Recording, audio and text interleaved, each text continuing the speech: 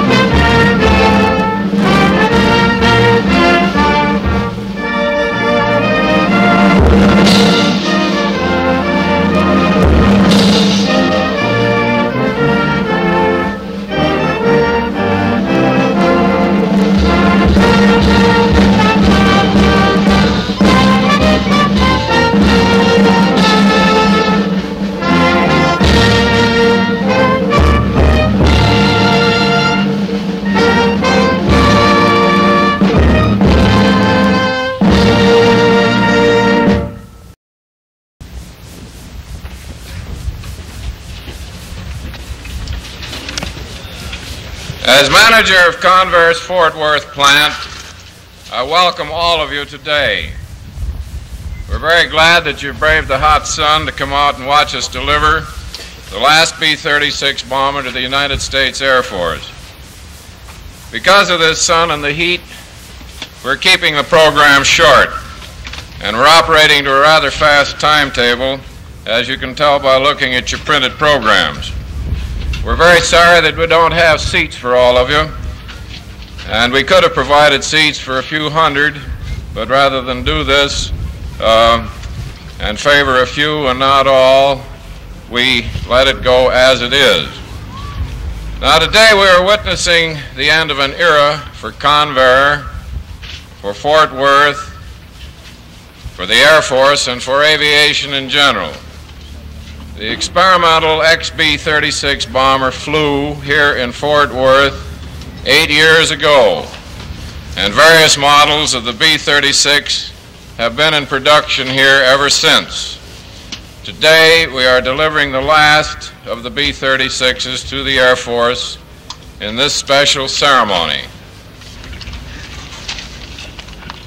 Everyone on the speaker's platform today is worthy of an introduction but the time schedule prevents my recognizing all of them.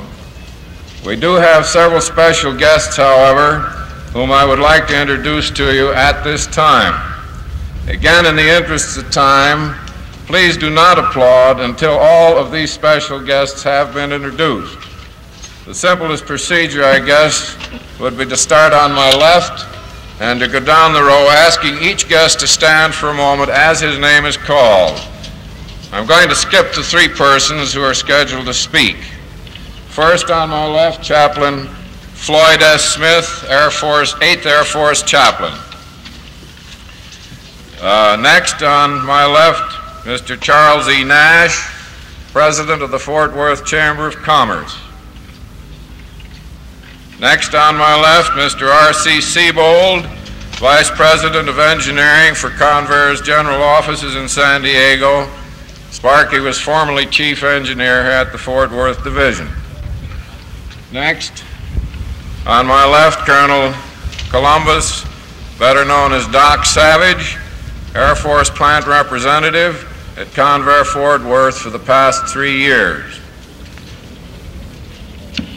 Next to Colonel Savage is Colonel Stephen P. Dillon, formerly Assistant Air Force Plant Rep at Convair Fort Worth formerly plant rep at Convair San Diego, and the first Air Force pilot to fly the B 36. He's now Director of Materiel for the 99th Strategic Reconnaissance Wing, which flies our B 36s at Fairchild Air Force Base, Spokane, Washington. And Colonel Dillon will fly back to Spokane this, Spokane this afternoon aboard this last B 36. Next to Colonel Dillon is Colonel Beverly H. Warren, formerly Air Force plant representative at Convair Fort Worth during the time that the B 36s were being built and flight tested.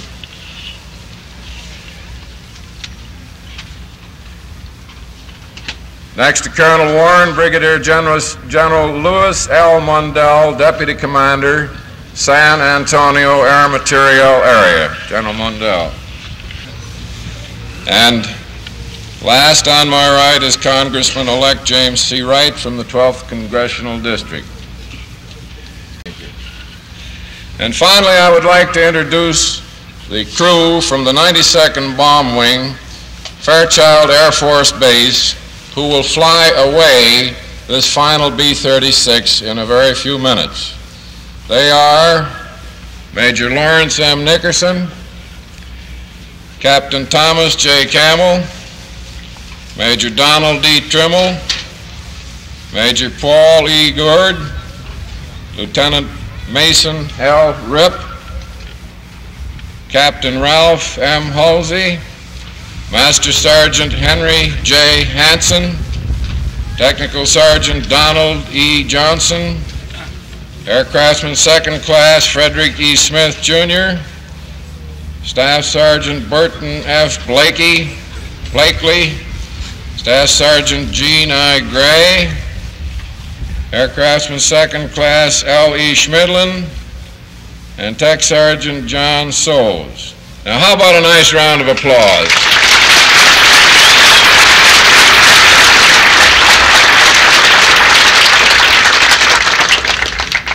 Included in our guests here on the speaker's platform are members of the City Council, county commissioners, directors of the Chamber of Commerce, mayors of the surrounding cities and towns, presidents of the unions here at Convair Fort Worth, presidents of other aircraft companies in the Fort Worth, Dallas area, Fort Worth, Dallas area, that's correct, and Air Force officers from various commands.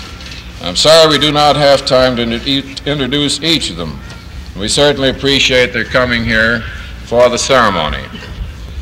Here to represent the city of Fort Worth today is Mayor Pro Tem Knight. He's practically a native of Fort Worth. At least he spent some 45 years here. He's now serving his third two-year term on the city council, having set new records for votes received each time that he has run for office. He's active in civic and community affairs, being, among other things, a vice president of the United Fund. Mayor Pro Tem M.M. McKnight.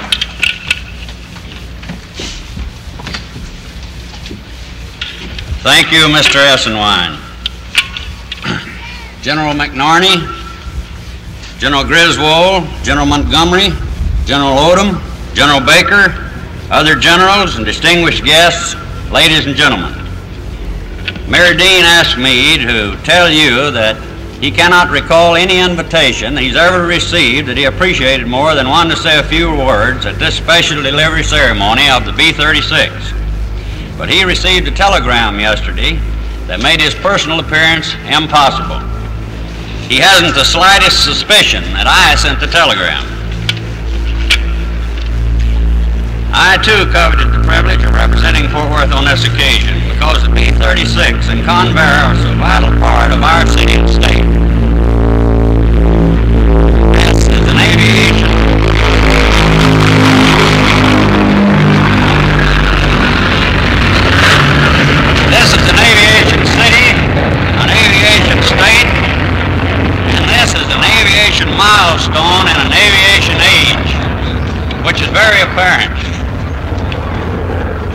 Justly proud when Consolidated Vultee accepted our invitation to come into our town.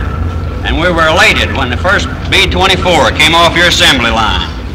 But some of us grew a little doubtful, though hopeful, when you ventured into building the then gigantic B-32 for the Air Force in World War II. Later, eight years ago last Sunday, the experimental model of the B-36 took off from this same runway. Today, the last production model will take off. This represents the end of an era for the Air Force, for Convair, and for the city of Fort Worth. Back in 1946, there were skeptics, even in Fort Worth, who said that a plane as big as a B 36 could never get off the ground. As time went by and as B 36s went into operation with Air Force units, and as Convair developed still more powerful models of the B 36, these skeptics faded away. Today, the fleets of B 36s operated by the Strategic Air Command are recognized throughout the world, particularly in Russia, as tremendous fighting machines. Indeed, military strategists and international diplomats have said that the atomic and hydrogen bombs and the method of delivering them, meaning the SAC's fleets of B 36s, are doing more to prevent a third world war than any other single factor. To citizens of Fort Worth, however, the B 36 is a homegrown, home flown product built by Convair and flown by Carswell. As a city official, I am extremely proud of the fact that every B 36 in the world was built right here in Fort Worth, at this plant on the shores of our own Lake Worth. In recent years, these B 36s have done more to publicize Fort Worth than any other single product. Fort Worth owes a debt of gratitude to Convair and its employees. It has helped to make this area the second largest aircraft manufacturing center in the nation. Since the plant was built in 1942, its payrolls have pumped approximately $700 million into the economic stream of Fort Worth. I understand the current payroll for approximately 18,000 employees of Convair's Fort Worth plant is about $7 million a month and likely to stay in this neighborhood.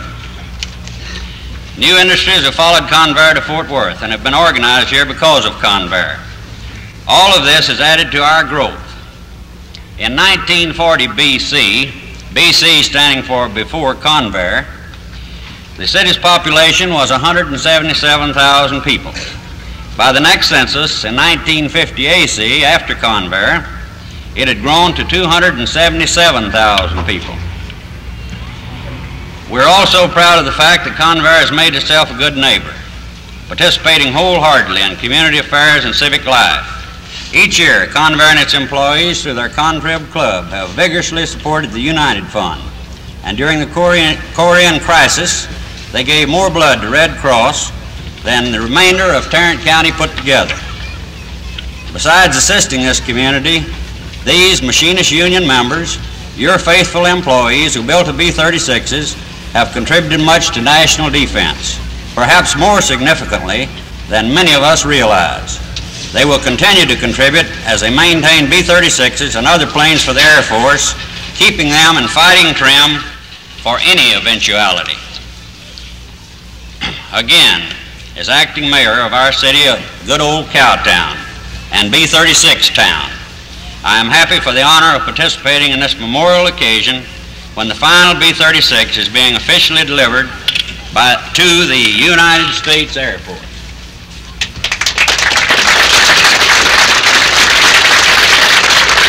Thank you, Mayor McKnight.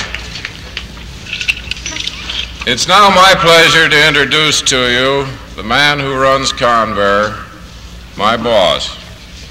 He himself is a four star general and a former commander of the Air Materiel Command. He knows about the airplane business from both sides of the fence as an Air Force officer and as an aircraft company president. His distinguished military career began in 1917, so it's obvious that I cannot, in the time allotted, recount all of his accomplishments, which are numerous. I would like to mention, however, that it was General McNarney who succeeded the then General of the Army, Dwight D. Eisenhower, in 1945 as Commanding General of the United States Forces in the European Theater and Commander in Chief of the United States Forces of Occupation in Germany. General McNarney was a senior member of the United Nations Military Staff Committee and during 1949 served as special advisor to the Secretary of Defense. At the time of his retirement from active duty in January 1952, he was chief of the Department of Defense's Management Committee. Shortly thereafter, he became president of Convair. I introduce to you now General Joseph T. McNarney.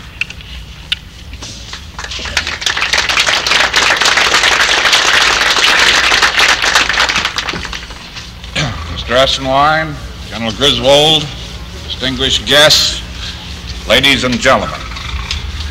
The announced purpose of the ceremony here today is to observe the delivery of the last B 36 to the United States Air Force. The delivery will be made in a few moments.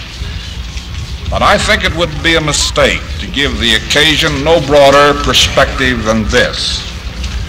For over 10 years, the employees of Convair Fort Worth have been designing and building a new kind of weapon, a global striking force. It is the first such weapon in the world has ever known.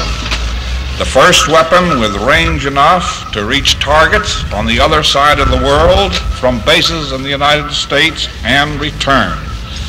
The first weapon capable of unloosing immediate and crippling destruction on the enemy with the absolute minimum combat exposure of American lives. The first weapon capable of enforcing the peace by threat of instantaneous and overwhelming retaliation. Today, with the delivery of this plane, we are, in effect, putting the last rivet in place in this revolutionary new weapon. We have built, this, built it to serve for many years to come. We have built it with a growth potential that is not yet fully realized. The plane you see here today has only 20% of common parts with the first B-36 off the line. Changes and improvements have increased the B-36's performance amazingly. Its horsepower has been doubled. Both speed and altitude have materially increased. I am not permitted to say how much. And it is worth noting that even with these many changes, Convair reduced the man hours necessary to build a B-36 from 350,000 to 142,000 and was able to reduce the plane's anticipated unit cost to the government by some 15 percent despite the continuously increasing wage and material costs. With all this, every B 36 was delivered on schedule for the last two and one half years. As to the plane's future growth, Convair has a contract with the Air Force which anticipates that each B 36 in service will be returned to Fort Worth for overhaul and modernization every two years throughout its operational life. SAMSAC, as the program is known, is the first contract to be awarded under the Air Force's plan of returning a product to the manufacturer for maintenance and repair instead of doing the work itself in its own depots.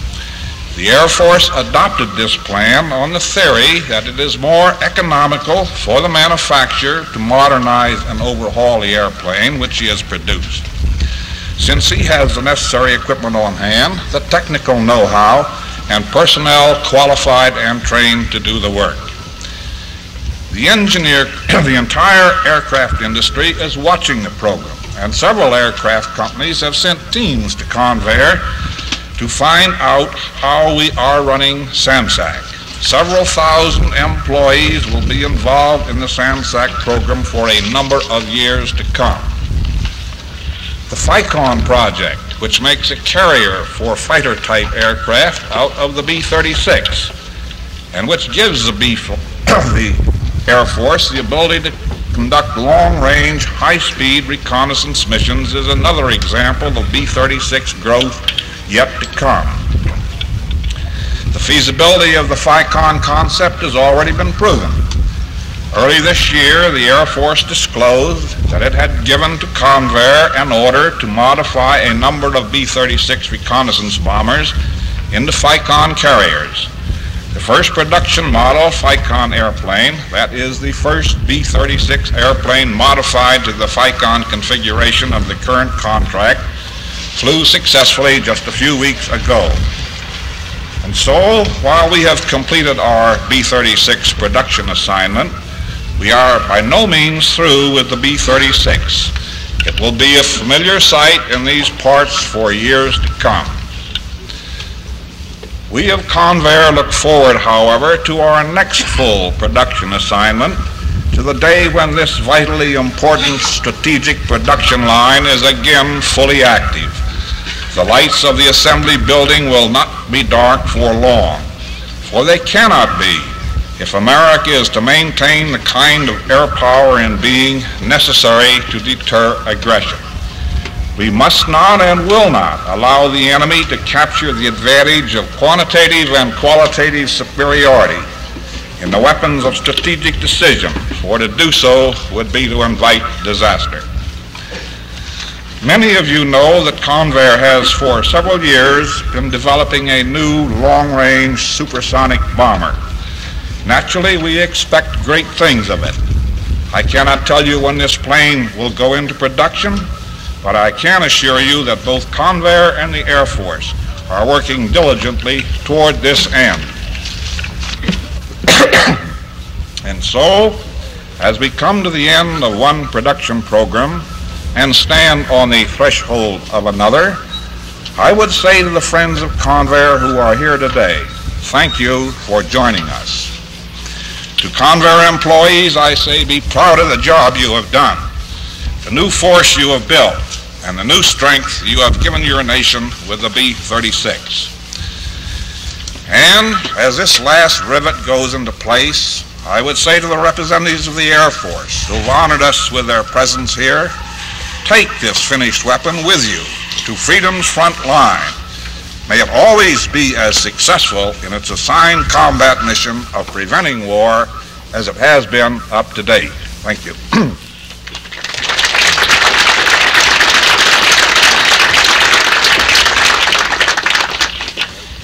Thank you, General McNarney.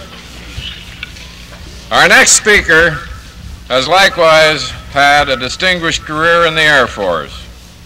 And like General McNarney, he too is a native of Pennsylvania.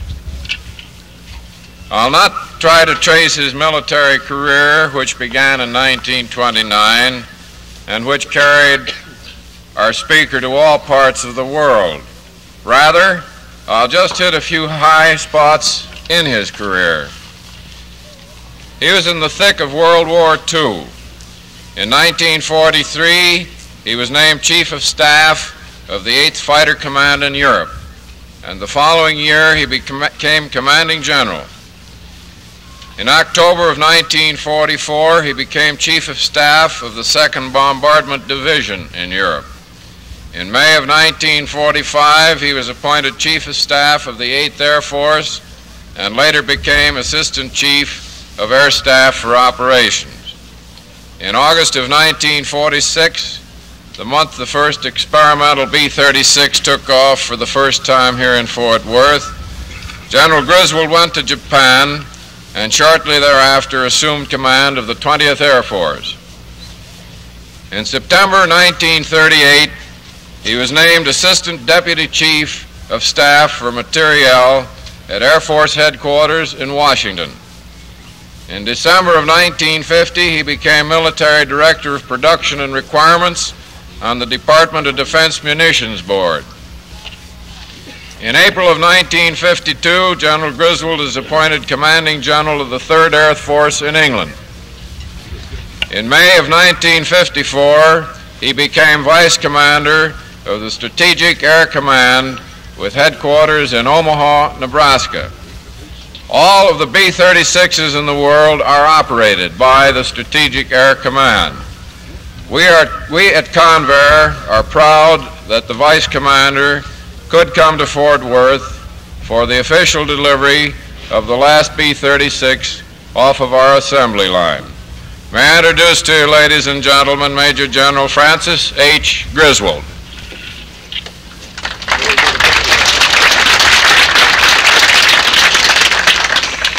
General McNarney, Mr. Esenwein, distinguished guests, ladies and gentlemen. It's a real pleasure to be down here and look at your smiling faces. Being born in Pennsylvania, it's always a relief to come to Texas, you know. But I'm happy to be here to represent General LeMay in the Strategic Air Command. Uh, General LeMay could not come because his father had a very serious operation yesterday morning so he felt that it was just absolutely impossible to get here. So I'll do my best to say what I think he would have said were he here. Now, the occasion of the last B-36 coming off Convair's Great Fort, uh, Fort Worth lines warrants much more than just passing notice. It is in no sense an obituary. Rather, it is an opportunity to focus attention on the role the men and women of Convair and Fort Worth have played in the national defense picture. The B-36 bomber is, and has been for some years, one of the most potent factors in existence for the prevention of war. At the same time, should the forces of communism engage us in a fight to the finish, the free world will put full reliance in the immediate future on the B-36 and on the Strategic Air Command crews who fly her. This combination, the B-36 and SAC, did not easily reach its present highly effective stature. As most of you know, the B-36 program suffered considerable growing pains since its inception in 1941. The immediate needs of World War II interrupted production of this great plane. Post-war inactivity further postponed production and delivery. But finally, when the hard-learned lessons of strategic bombardment and the decisive effect it had on Japan and Germany were fully recognized, the B-36 got the green light. Even then, there was no effort to freeze the design or produce aircraft that did not keep up with the times. Throughout recent years, Convair has successfully improved the capabilities of the B-36, cut production costs, increased range, altitude, load, and speed capacities, in addition to perfecting the armament. The history of the B-36 and the Air Forces are closely allied. In July 1947, the Air Force became an independent service under the Unification Act. On August 28th of the same year, the first production model B-36 was flown. And exactly a year later, the first B-36 was delivered to the 7th Bombardment Wing of the 8th Air Force, which has been your neighbor across the runways for some considerable time. Since that date, when the Air Force consisted of about 300,000 people, to the present point where it is some 900,000 strong, Convair has supplied the Strategic Air Command with all of its long-range, heavy bombardment and reconnaissance aircraft. The faith that was instilled by the B-36 has been much more than justified. To those whose early realized the potential of the B-36, it has been great expectations fulfilled. Therefore, we can today commemorate with pride the delivery of this B-36 to members of the 92nd Bomb Wing, of Fairchild Air Force Base, Washington, even though it be the last. This crew is one of the many throughout the Strategic Air Command who have gained familiarity with the B-36. On many occasions, it has been their home for 30 or more hours on a mission that has taken them thousands of miles through the stratosphere. They have come to know its marathon bomber intimately and thoroughly. By rigorous training, they have been able to utilize its capabilities to their fullest. Weather is no longer an obstacle. They can bomb almost as accurately with radar at 40,000 feet in the darkened skies with clouds obscuring the ground as William Tell shot the apple off his son's head. Their navigational ability is no less precise. In any kind of weather, they can take off, locate their targets, and return to their designated base. Hand in glove with successful bombing goes reconnaissance. In this category, the RB-36 has also proven outstanding. Strategic long-range reconnaissance is the invaluable forerunner of the bombardment mission. Target intelligence must be accumulated. Photographic, weather, and electronic information is needed. In addition to extensive mapping and post-strike intelligence, the crews who fly the RB-36s solely for these purposes render a vital service. Again, the RB-36 meets all their requirements fully and provides the most effective means for global operations. Twice each year, every wing in the Strategic Air Command carries out a mission exactly similar to the one it would be charged with in actual combat. Should war come, SAC crews are ready and thanks to Convair, and the many other companies who supply the Air Force with weapons and equipment, America would not be forced to postpone retaliation. It would be immediate. The B-36 permits that statement to be made without reservations. It has been for some years now the mainstay of that long-range capability.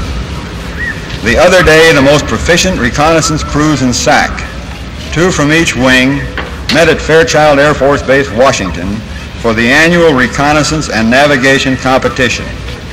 This contest is going on right now as we are gathered here to pay respects to the B-36. Some of her forerunners on this very same production line are at this time boring through the skies on a mission that might bring her the coveted victory in this contest. Again, there is very little difference between this and an actual combat mission. In a few weeks, the SAC bombing and navigation competition will take place. Aptly called the World Series of Bombing, this annual contest summons the optimum proficiency from the best crews in SAC. Now, what does all this add up to? It means that both the planes and men must be at peak performance conditions at all times. All the training throughout the year is aimed at readiness, and these annual competitions prove just how good they really are. And believe me, you can be proud of their record. So long as radicalism threatens the reason and the democratic way of life is exposed to attack, instruments such as the B-36 will be a vital necessity to the security of the United States. SAC crews have flown B-36s practically everywhere, in both hemispheres from the Orient to Greenland and over the poles. Long-range heavy bombardment elements of this command have been overseas in Japan, North Africa, and the United Kingdom. They have added to man's knowledge of the elements by studies of the jet stream on a non-stop 8,700 mile flight from Japan to Maine. They have carried 10,000 pound bomb loads further than any other aircraft in operation. You know the accomplishments of the B-36 and you can be proud of them because they stem from your hands. The era of the B-36 is by no means a closed book, even though today marks the last B-36 to be delivered. Under the maintenance and overhauling program, your work will continue to keep the B-36 in combat readiness. This last B-36 will join others and become an integral part of the nation's insurance that we are in business to keep the peace, but prepared to bring defeat to those who might be so stupid as to break it. Now, just a little ad lib here that each and every one of you identified with this B-36 can rest assured that because you built the B-36, we have not been engaged in a war, and there's a good chance that we won't be. Thank you.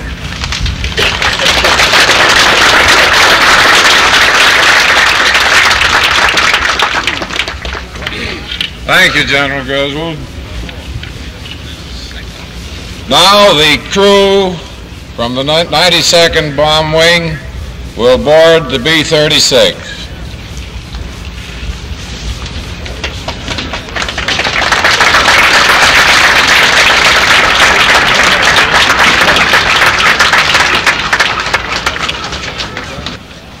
Now, ladies and gentlemen, while the engines are being started, we ask you to keep well back.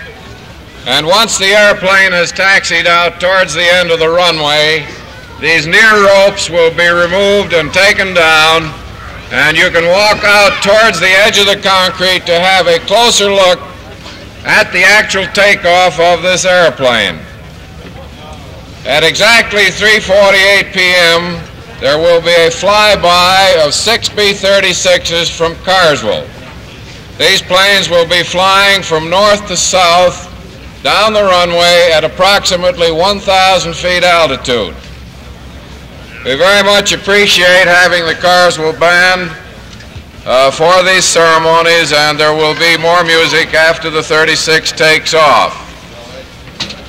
Uh, again, following the takeoff of the B-36, we will reopen the C-99 for visitors who wish to tour it. As you probably know, it is a transport version of the B-36 and the world's largest land plane. So as soon as the 36 starts up and taxis out, you will be able to get further out on the field. This time I would very much like to thank you all for having taken the time and trouble to be here.